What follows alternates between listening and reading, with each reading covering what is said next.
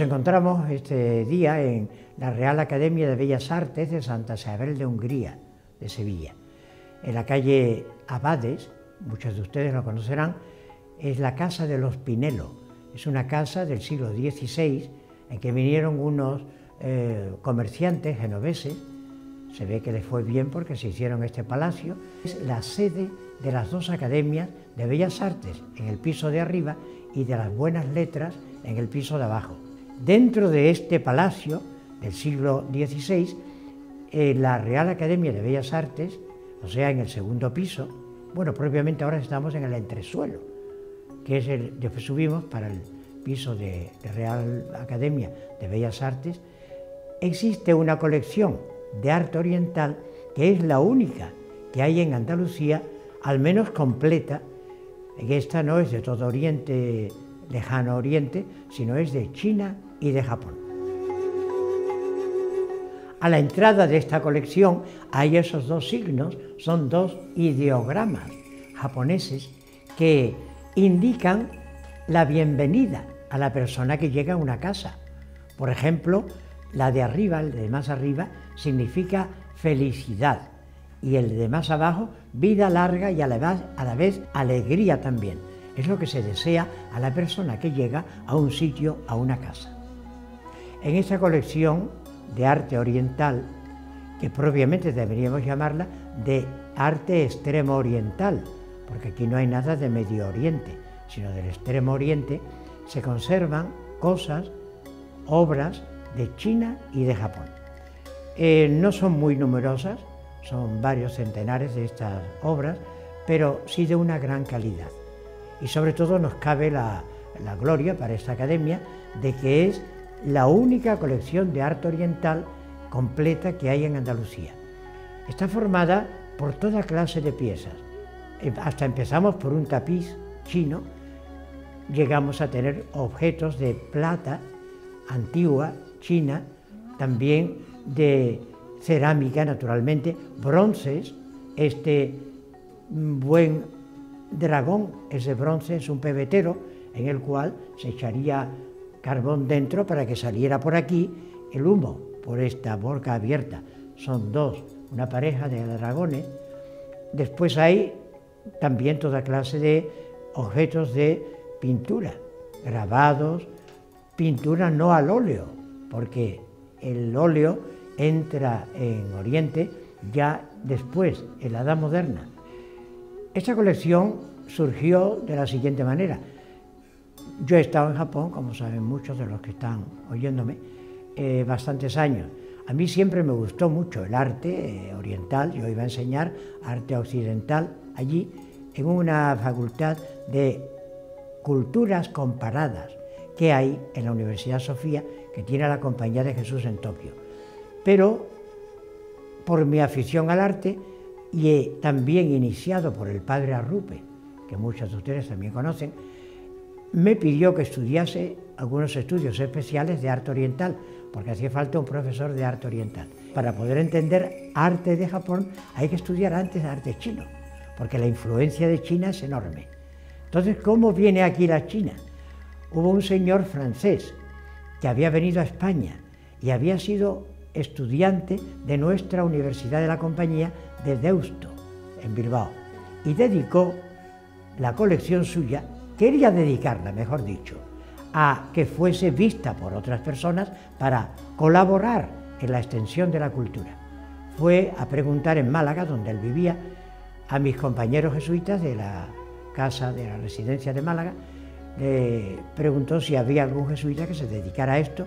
Yo ya había vuelto de Japón, ellos le dijeron, sí, tenemos un compañero en Sevilla. Y entonces, pues, ese señor vino a mí y todo lo que hay aquí de China, absolutamente todo, me lo regaló él como una gran colección, porque sabía que la compañía, según me decía él, haría que esto sirviera para la extensión de la cultura y para que se unieran las culturas de los distintos pueblos. Después de esta colección china, Naturalmente yo en Japón ya había empezado a reunir cosas que me regalaban y que a mí me gustaban mucho. Iba coleccionando cosas. Yo traje muchas cosas de Japón. Después me han ido regalando cosas de Japón que me han enviado a España. Pero es que además muchas personas que vienen aquí a ver la colección tenían en sus casas objetos de arte japonés y no sabían lo que era.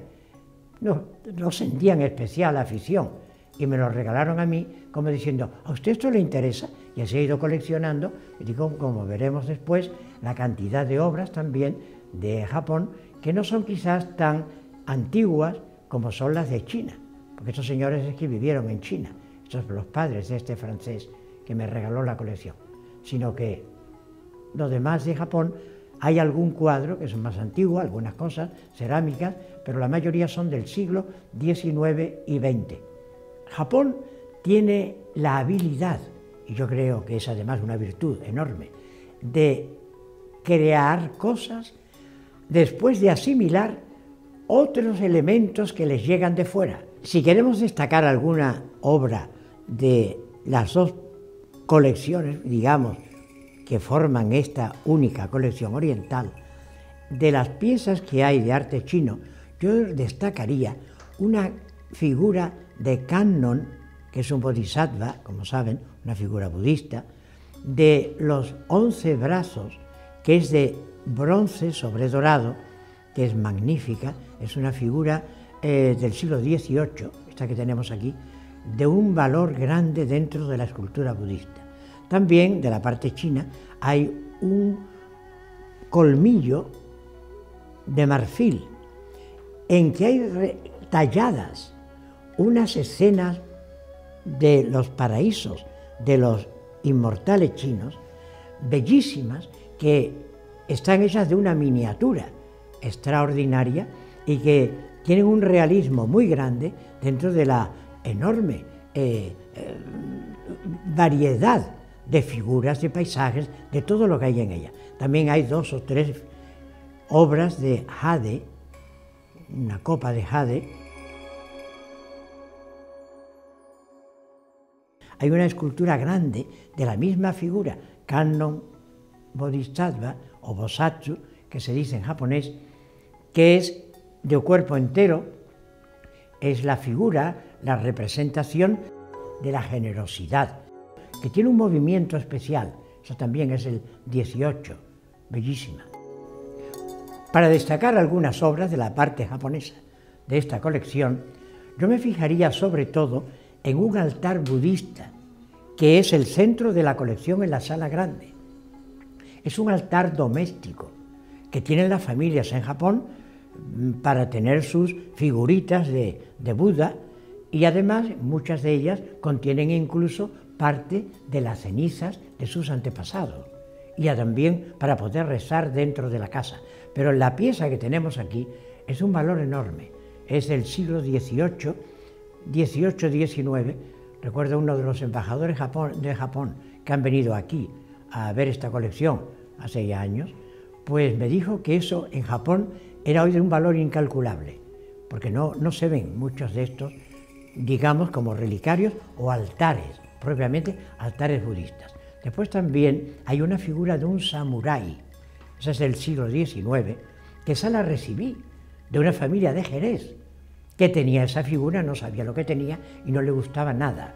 Y verán cómo es algo muy, muy llamativo por, por la expresividad, el realismo, la naturalidad de esa figura. Después hay una buena colección, no grande, pero buena, de grabados que son los que se llaman grabados de ukiyo-e, que son las pinturas del mundo flotante. Esa colección es el 18. Después hay otra vitrina de Japón, toda de laca. Y esa me llama la atención porque la laca buena de Japón, que como saben es eh, objetos de madera tallada, pero que están recubiertos de esa sustancia, de esa resina que se saca de un árbol, eso es de un valor extraordinario por el trabajo que lleva de la cantidad de capas distintas de laca que hay que ir dando. Esta colección tiene una doble finalidad. Primera, el que haya en Andalucía una colección de arte oriental del extremo oriente a la que puedan asistir, venir a ver los especialistas o los interesados en esta materia. Por tanto, la primera finalidad sería esa. Pero dentro de cualquier cosa como hacemos los jesuitas a cualquier sitio donde vayamos, esto tiene una finalidad también evangélica, porque nosotros tenemos la norma desde San Francisco Javier, es decir, desde tiempos de San Ignacio, de la evangelización por la cultura. Yo creo que lo mejor es invitarles, aquí tienen su casa, esta es la Real Academia de Bellas Artes de Santa Isabel de Hungría, en la calle Abades 14 de Sevilla, muy cerca de la catedral, de manera que todos serán bienvenidos y seguro que se irán con la idea de haber conocido algo tan extraordinariamente peculiar que no se ve en todas partes.